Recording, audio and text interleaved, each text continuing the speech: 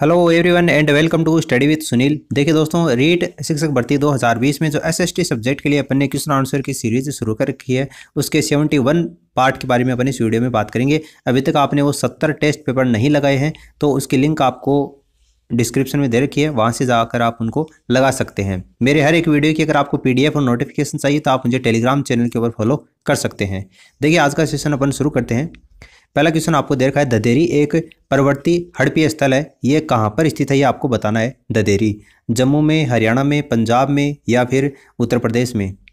तो कहाँ पर ये? पंजाब राज्य में है, ऑप्शन सेकंड इसका करेक्ट आंसर होगा। पंजाब के लुधियाना में है और आर्यों के आगमन का काल भी से संबंधित है ये। ऋग्वेद काल में जनता निम्न में से मुख्यतः किसमें विश्वास करती थी? मूर्ति पूजा में, देवी पूजा में इक्केश्वरवाद में या फिर बलि और कर्मकांड में जनता विश्वास करती थी ऋग्वेदिक काल में? तो इसका करेक्ट आंसर होगा बलि और कर्मकांड में। किस शासक के काल में चतुर्थ बौद्ध संगीति का आयोजन कश्मीर में हुआ था? चतुर्थ बौद्ध संगीति का आयोजन किसके शासनकाल में कश्मीर में हुआ था? अशोक, कनिष्क, कालाशोक या फिर अजात शत्रु? तो इसका करेक्ट आंसर होगा, कनिष्क के शासनकाल में चतुर्थ बौद्ध संगीति का आयोजन किया गया था। इसकी अध्यक्षता वसुमित्र ने की थी और अश्वघोष इसके उपाध्यक्ष थे। प्रारंभिक जैन साहित्य निम्नलिखित में से कौन सी भाषा में लिखे गए? प्रारंभिक जैन साहित्य, अर्धमागधी भाषा, प्राकृत भाषा, पाली भाषा या फिर संस्कृत भाषा? देखिए, प्रारंभिक जो जैन साहित्य हैं, वो कौन सी भाषा में लिखे गए थे? अर्धमागधी भाषा में लिखे गए थे।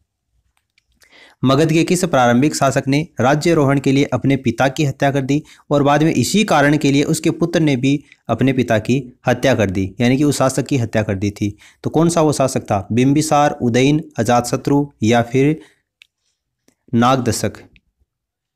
तो इसका करेक्ट आंसर कौन सा होगा?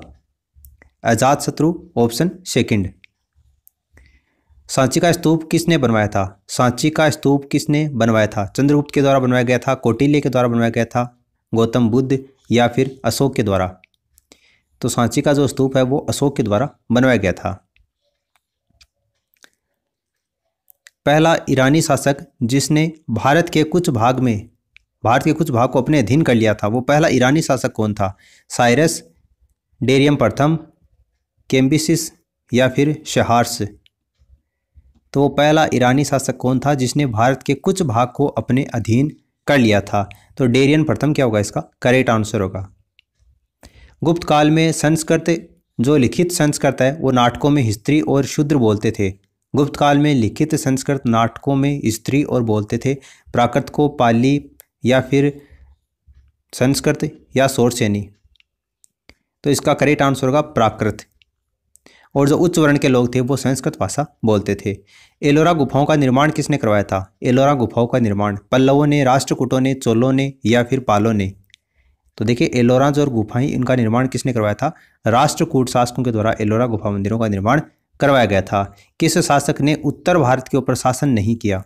उत्तर भारत के ऊपर कौन से राजवंश ने शासन नहीं किया? चालुक्य, गुप्त, राजपूत या फिर मौर्य? तो देखिए चालुक्य राजवंश ने उत्तर भारत के ऊपर शासन नहीं किया था।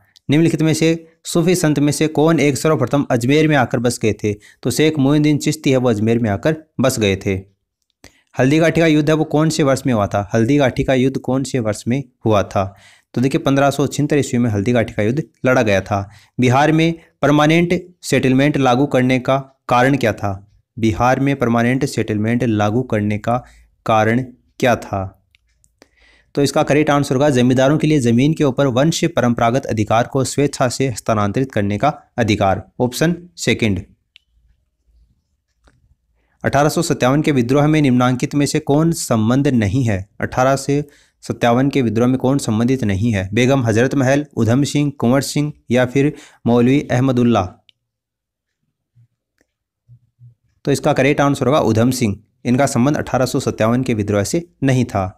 सत्यशोधक समाज की स्थापना किसने की थी? सत्यशोधक समाज की स्थापना। भीमराव अंबेडकर ने, ज्योतिबा फुले ने, संत राम ने या फिर भास्कर राव जाधव ने? तो सत्यशोधक समाज की स्थापना ज्योतिबा फुले के द्वारा की गई थी। संविधान की प्रस्तावना, सभी जातीय नागरिकों को निम्न में से कौन सा एक उपबंध करने के लिए वायदा करती है? संविधान की प्रस्तावना। सामाजिक न्याय, विचार की स्वतंत्रता, राजनीतिक न्याय या पूजा की समानता। तो इसका करेक्ट आंसर होगा पूजा की समानता। संवैधानिकेतर अधिकार का अर्थ है। संवैधानिकेतर अधिकार का अर्थ क्या है? वह शक्ति जो संविधान की सीमा का अतिक्रमण कर देती है, या वह शक्ति जिसे संविधान के अंतर्गत असाधारण शक्ति प्राप्त हो, या वह शक्ति जो संविधान सहमत नहीं है, या वह अधिकारी जिसके, जिसमें आपातकाल की घोषणा होने के ऊपर राज्य की समस्त शक्ति निहित होती है। तो देखिए संविधानिकेतर अधिकार का अर्थ होता है, वह शक्ति जो संविधान सहमत नहीं है। एक नागरिक के मूल कर्तव्यों में निम्न में से कौन सा कर्तव्य सम्मिलित नहीं है? एक नागरिक के मूल कर्तव्य में कौन सा कर्तव्य शामिल नहीं होता? तो देखिए, इसके अंतर्गत अस्पृश्यता मिटाने की ओर प्रयास करें, ये मौलिक कर्तव्यों में शामिल नहीं होता। भारत में पंचायती राज प्रतिनिधित्व करता है भारत में पंचायती राज किसका प्रतिनिधित्व करता है? शक्तियों के विकेंद्रीकरण का, सामुदायिक विकास का, लोगों की हिस्सेदारी का या फिर उपरोक्त सभी का? तो देखिए, आपको जो तीनों कंडीशन दे रखे हैं, इसमें तीनों कंडीशन का पंचायती राज है, वो प्रतिनिधित्व करता है। इसलिए उपरोक्त सभी इसका करेक्ट आंसर हो जाएगा। निम्नलिखित कथनों में से कौन सा एक सही है? चार कथन दे रखे हैं, कौन सा कथन सही है, वो आपको बताना है। वर्ष 1946 में प्रांतीय सभाओं के द्वारा भारत की संविधान सभा चुनी गई थी। तो ये कथन आपको इसके अंतर्गत बिल्कुल सही दे रखा है। बाद में पंडित जवाहरलाल नेहरू, जिन्ना सरदार वल्लभ पटेल भारत के संविधान सभा के सदस्य थे तो ये कथन आपको इसमें गलत दे रखा है। संविधान सभा का प्रथम अधिवेशन जनवरी उन्नीस सौ सैंतालीस में हुआ था, ये भी गलत दे रखा है। उसके बाद में भारत का संविधान 26 जनवरी 1950 को अंगीकृत किया गया था, जी नहीं 26 नवंबर उन्नीस सौ उनचास को किया गया था 26 जनवरी 1950 को तो लागू किया गया था। तो ये कथन भी आपको गलत दे रखा है। देखिए, सही कथन पूछा था ऑप्शन फ़र्स्ट क्या हो जाएगा इसका? करेक्ट आंसर हो जाएगा। अध्यक्ष सदन के किसी भी सदस्य को बोलने से रोक सकता है और अन्य किसी सदस्य को बोलने दे सकता है। ये घटना क्या कहलाती है? मर्यादा, पक्ष त्याग, अंत प्रदर्शन या बैठ जाना। तो इस घटना को किस नाम से जाना जाता है? बैठ जाना के नाम से जाना जाता है। संसद के लिए राष्ट्रपति का जो अभिभाषण है वो कौन तैयार करता है? संसद के लिए राष्ट्रपति का अभिभाषण कौन तैयार करता है? स्वयं राष्ट्रपति तैयार करता है या लोकसभा अध्यक्ष करता है? राज्यसभा के सभापति करते हैं या फिर केंद्रीय मंत्रिमंडल के द्वारा संसद के लिए राष्ट्रपति का अभिभाषण तैयार किया जाता है? तो इसका करेक्ट आंसर होगा केंद्रीय मंत्रिमंडल। भारत के उच्च न्यायालयों के संबंध में आपको चार कथन दे रखे हैं। उनके ऊपर विचार करना है और नीचे दिए गए कोर्ट के आधार पर आपको चयन करके बताना है। चार कथन आपको दे रखे हैं। देश में अट्ठारह उच्च न्यायालय हैं तो ये आपको सही दे रखा है। उनमें से तीन का क्षेत्राधिकार एक राज्य के से अधिक पर है। ये भी सही दे रखा है। किसी भी संघ राज्य क्षेत्र का अपना उच्च न्यायालय नहीं है यह आपको गलत दे रखा है।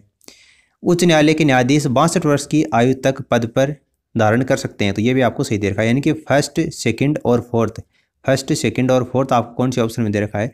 फ़र्स्ट ऑप्शन में दे रखा है। ये इसका करेक्ट आंसर हो जाएगा।